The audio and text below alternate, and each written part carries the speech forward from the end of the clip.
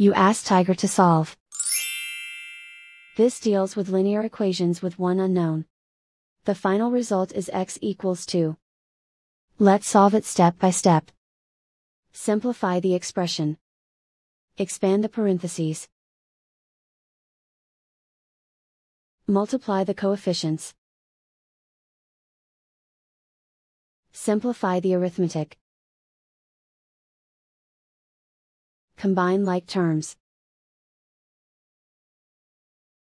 Group all constants on the right side of the equation.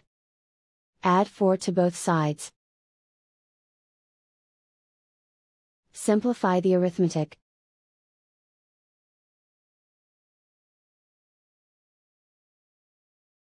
Isolate the x.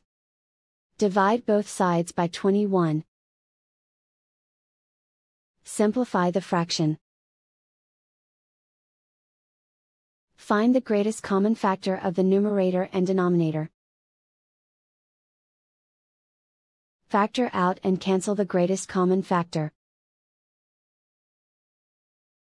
And so the final result is x equals 2.